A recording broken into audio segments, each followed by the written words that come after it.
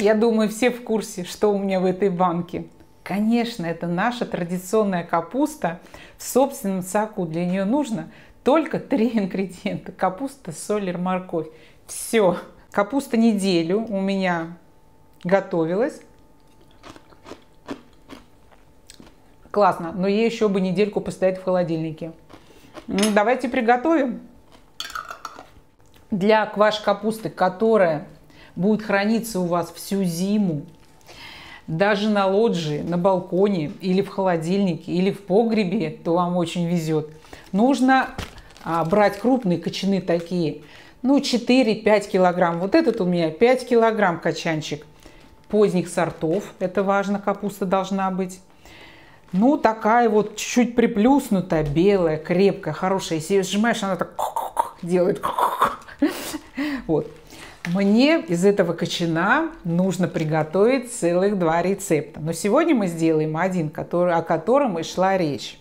Качан нужно очистить от верхних листьев. Эти листья вы не выбрасываете, мы их уложим на дно и наверх баночки. Будем солить в банке. Но если хотите, можно солить и в кастрюле, в принципе, в любой емкости. Но очень рекомендую не использовать пластмассовые, тем более алюминиевые какие-то емкости. Лучше всего, вот и проще всего, кстати, готовить в стеклянных банках. Так, ну что, мы очистили. А, нужно разделить качан на 4 части.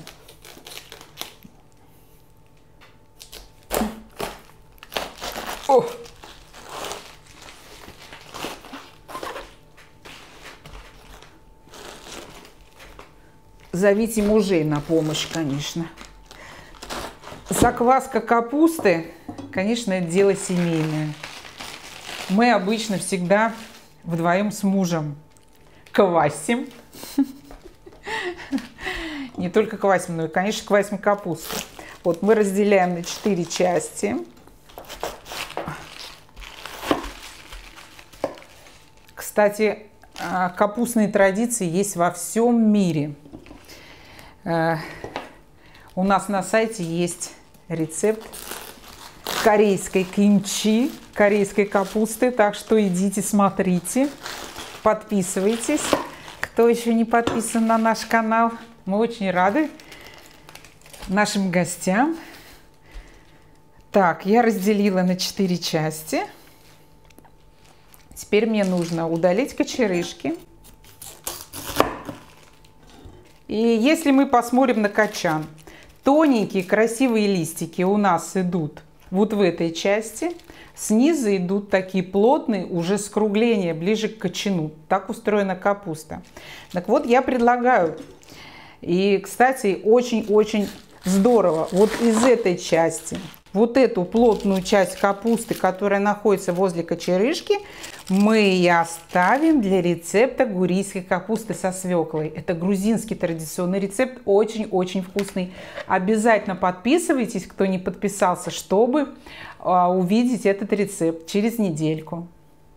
Конечно, шинковать можно на комбайне, на специальных, а, специальными ножами, специальными нарезками.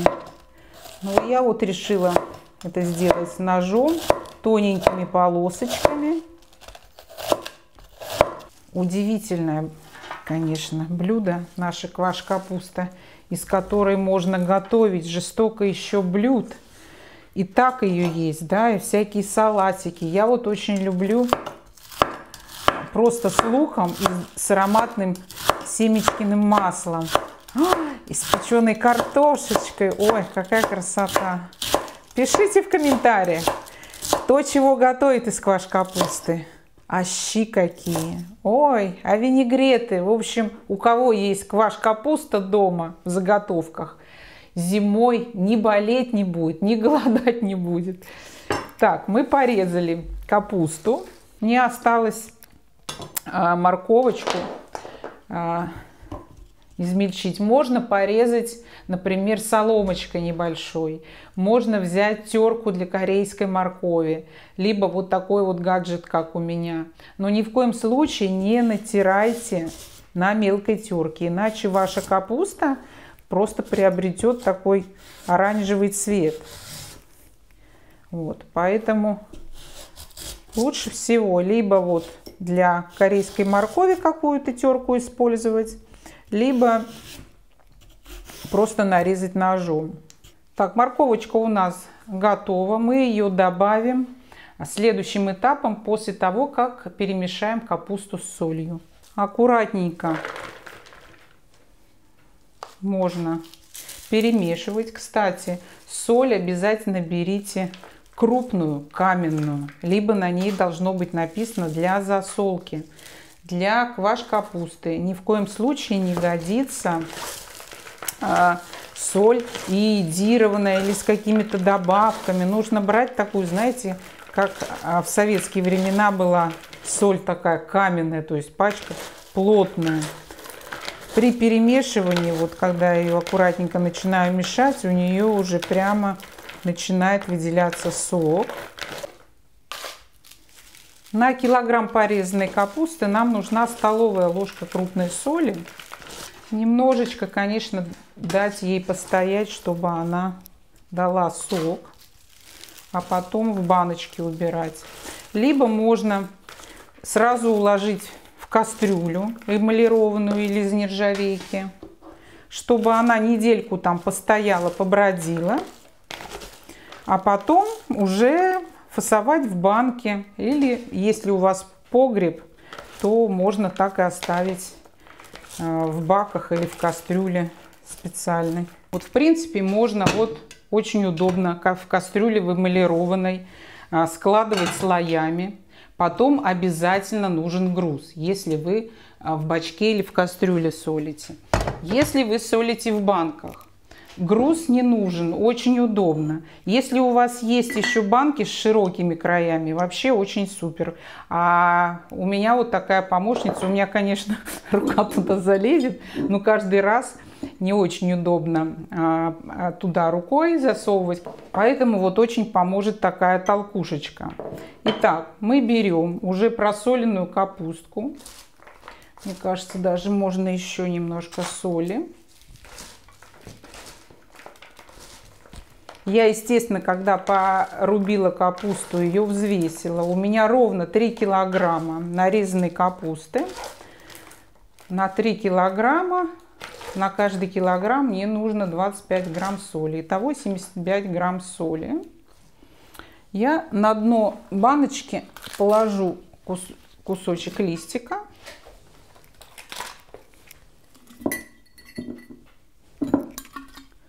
И начинаю закладывать капустку. Не спеша, с любовью. И потихонечку ее прижимая, чтобы она дала сок. Ну, сразу, может быть, она сок и не даст, но потихонечку начнет соль из нее, конечно, жидкость вытягивать. Вот слой капустки, немножечко добавляем морковочки. И опять капусту.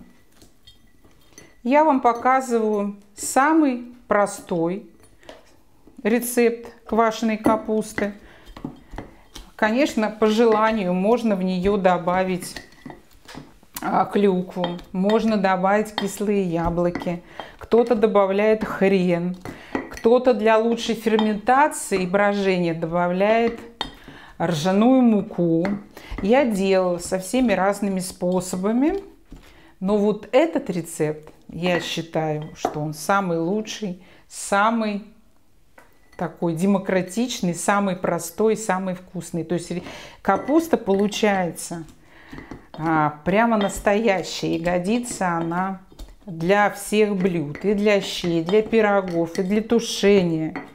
А самое главное, вот у меня она хранится просто на лоджии, какого-то специального хранения нет, она прекрасно стоит всю зиму.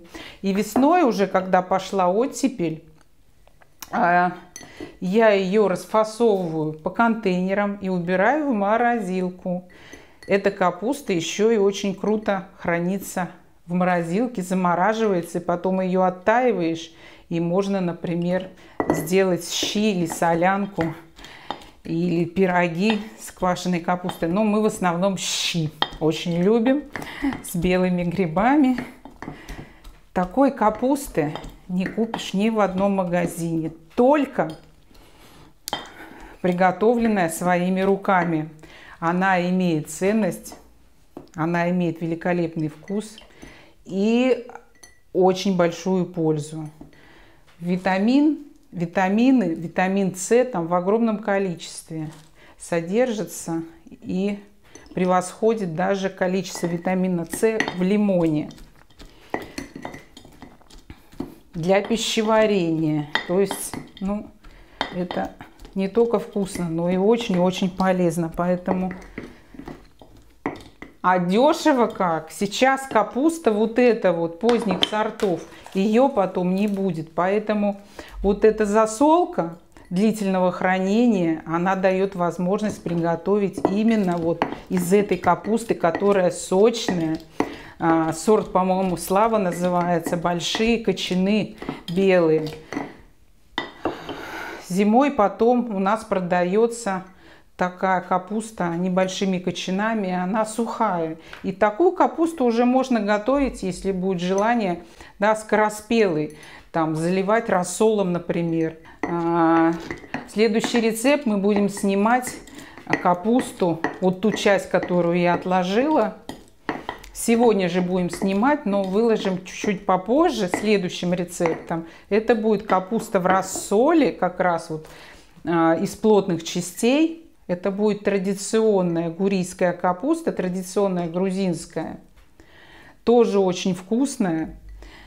И рецептом со мной поделилась Нана Чешилашвили, э, шеф-повар грузинского московского ресторана. И я с тех пор готовлю эту капусту. Единственное, что я все-таки заменила э, обычный столовый уксус 9%, я заменила на свой э, яблочный уксус. Кто с нами готовил этот яблочный уксус, привет. У меня он еще доготавливается, потому что последняя стадия приготовления яблочного уксуса э, длится около двух месяцев чтобы он доготовился, дозрел. Вот. Но у меня еще запасы с прошлого года, поэтому я использую в приготовлении вот гурийской капусты именно свой яблочный уксус. Мы утрамбовали капусту, видите, у нее уже появился сок. Теперь нам нужно сделать такую небольшую заглушечку сверху из листиков, которые мы сняли сверху кочана таким образом. Желательно поставить в какую-то миску или в тарелочку и закрыть неплотной крышкой. И таким образом при комнатной температуре, где-то на столе или на подоконнике начнется брожение. Но не ставьте совсем в теплое место, там на батарею или куда-то в очень жаркое место. Идеальная температура где-то плюс 20. Обычная комнатная температура для этой капусты, чтобы началось брожение медленно, без всяких экстремальных да, моментов, чтобы капуста не стала горькой.